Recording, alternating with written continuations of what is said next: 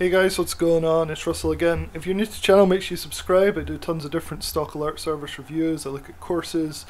And today I want to talk about Nomi Prins. So if you don't know who Nomi is, she's an American author and journalist. She used to work on Wall Street. She was the basically she worked at Bear Stearns as a senior managing director for probably five to ten years. Oh wait, here actually says seven years and she's basically spent most of her career in Wall Street before she branched off and started her own services. So I wrote this article a while back. I thought I'd go through who she is, what she, what does she trade, if she has any services and things like that. So, um, yeah, she's well known. She's been on pretty much all the major TV networks. Uh, as a journalist, she worked as an investigative uh, journalist. So she's written all these different books and things exposing different levels of corruption and stuff. We'll talk about that in a minute. But she gained a lot of credibility early on as the managing director at Goldman Sachs and Bear Stearns, which is not something you normally find in a person that starts their own alert service, so that's kind of interesting. She also has advised the Federal Reserve and the World Bank on different uh, financial policy matters, which is also just crazy to think that you could follow somebody on a trade alert service that actually has that kind of credibility. So she really has got a strong background in quant finance. She has a degree in math and a graduate degree in statistics as well. So she's the real deal when it comes to actually being a Wall Street uh, finance analyst and trader, which is really cool. So, what I found interesting is she has written some books that are really kind of like in depth into the world of almost conspiracy theory, but they're only conspiracies if they're not true, right? so the first book that I know she has is called Collusion: How Central Bankers Rigged the World. So I looked up on her website. This is her website. I'll try and put a link in the description to these resources for you guys.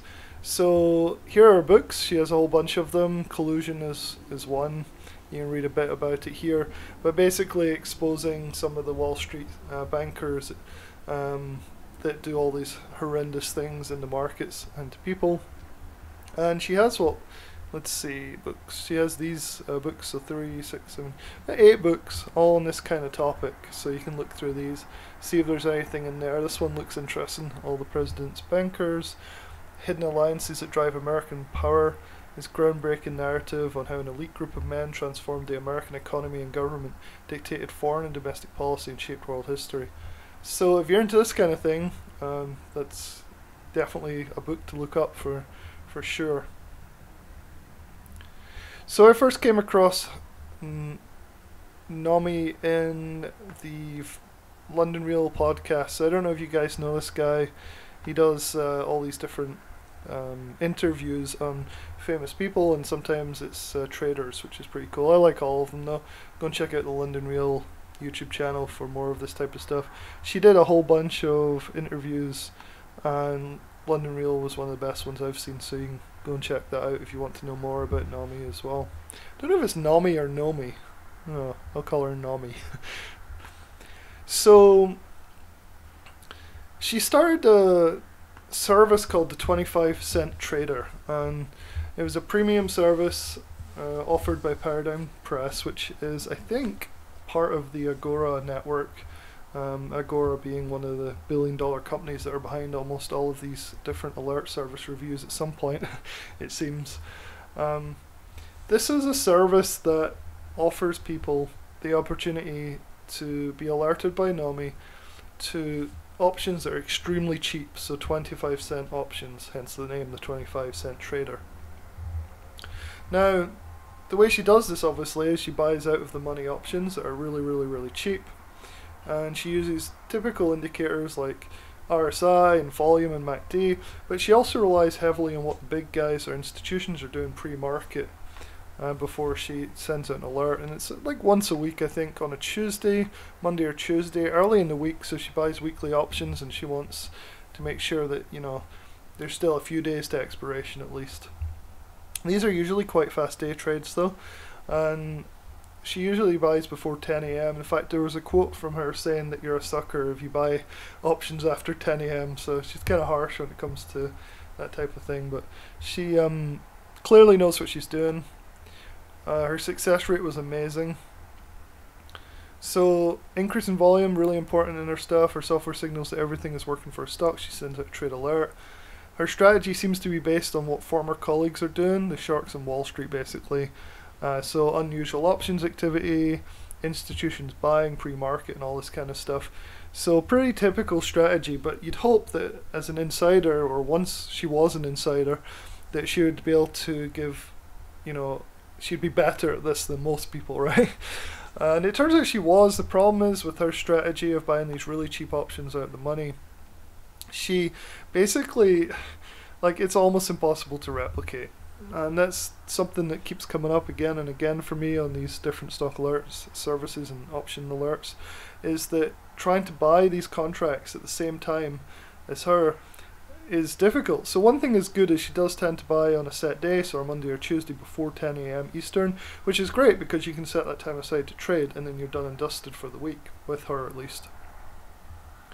The that's the good side of it. The bad side is the fact that they move so quickly um, you are going to be chasing, and a lot of complaints uh, seem to be based around that on her service at 25 cent trader, which by the way I think is actually paused at the moment. Doesn't look like you can sign up for it at the moment, but I'm not sure you're going to be missing too much by not being able to sign up for it because looking through all the reviews, I mean 2.6 out of 5 is not the worst rating, but it's not the best.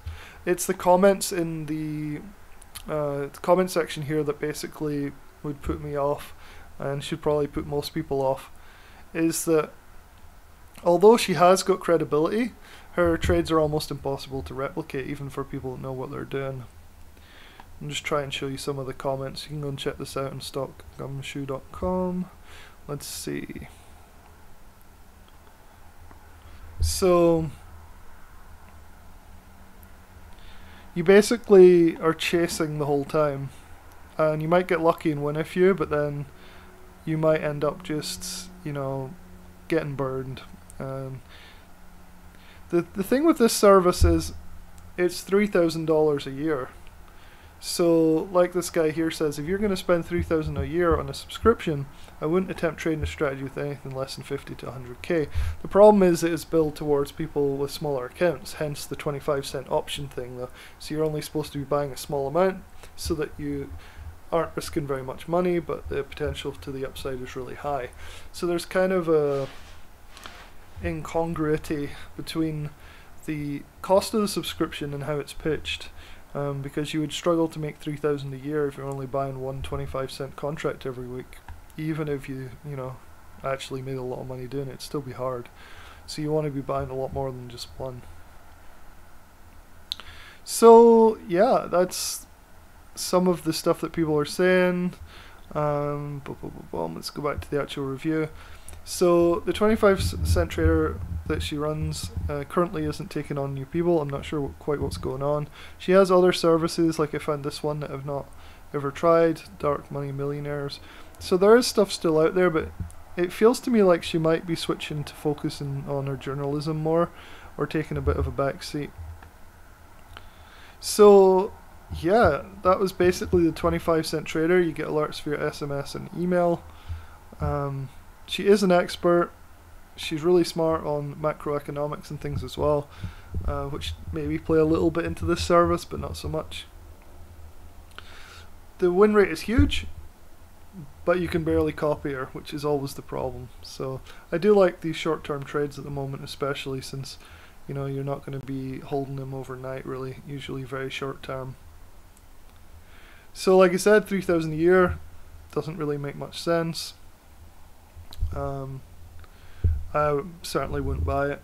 And honestly, if people are saying that you can't replicate her performance, even if the performance is really good, um, it's still not the best use of your time or money. So, well, I think Naomi Prins is extremely interesting, and some of her books are probably probably going to go back and read some of her books and things.